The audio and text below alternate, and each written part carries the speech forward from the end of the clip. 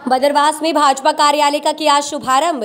कोलारस विधानसभा से भाजपा प्रत्याशी महेंद्र सिंह यादव ने आज बदरवास में भाजपा का कार्यालय का फीता काटकर उद्घाटन किया।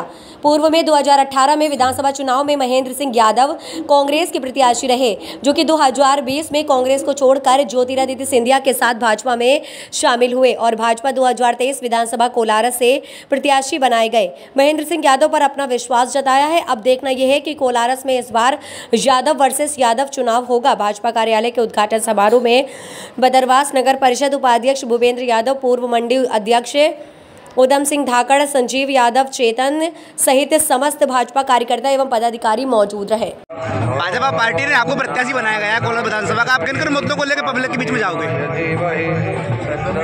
प्रगति विकास भारतीय जनता पार्टी की जो सरकार ने किया है।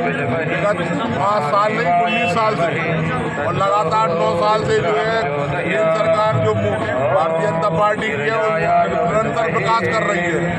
हर गरीब वर्ग को जो अंतिम जोरगा व्यक्ति है, उसके लिए जो योजनाएँ बनाई हैं, उनको लेकर के जा रहे हैं। जनता बहुत खुश है और वो चाहती है कि फिर से सरकार बने, ताकि हर व्यक्ति को लाभ मिले। विपक्ष ने कई सारे आरोप लगाए सरकार पे इस बार के उनकी कई सारी योजनाएँ हैं जो वोटर को लुभाने के लिए बनाई गई हैं। योजनाएँ सम, सम्मान निधि की योजना है कोई आज की नहीं है। आवास की योजना है तो कोई आज की नहीं है। हर ये तो उनको ऐसा लगता है कि ये वो तो उन्नीस साल से बना ही रहे विकास की और लोगों के लिए फ़ायदे की योजना है। उनको लगता है कि ये वोट के लिए कर रहे हैं। और ये कोई ऐसी योजना कि आज चालू कर दी कल बंद हो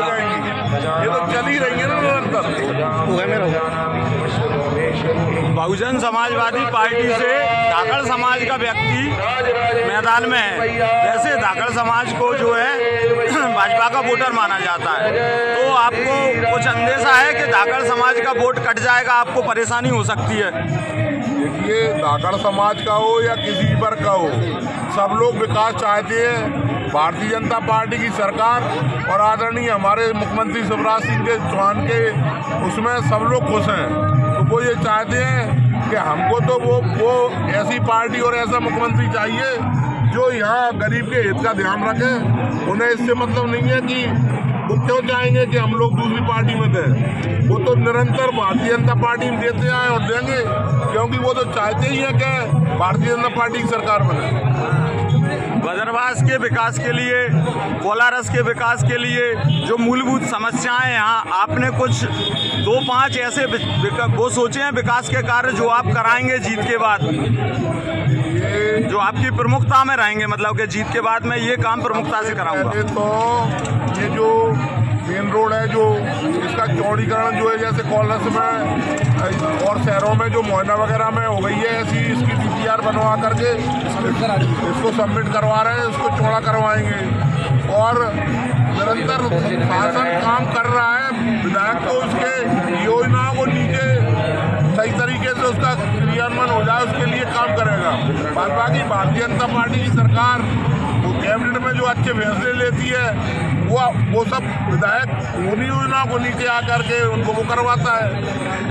और पिछले विधायक भी आपकी पार्टी के रहे हैं तो उनके कार्यकाल के बारे में कुछ बोलेंगे आप?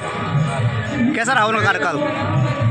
ये कोई भी काम करता है, उसका फैसला जब पाँच साल बाद आता है, जनता फैसला करती है कि किसने अच्छा किया, बुरा किया, नहीं किया। हम लोग कहें कि इसने बुरा किया, इसने अच्छा किया, इन सब में इससे कुछ नहीं होगा। जनता फैसला करेगी कि भारतीय जनता पार्टी ने अच्छा किया, किस विधायक ने अच्छा किया, नहीं किया।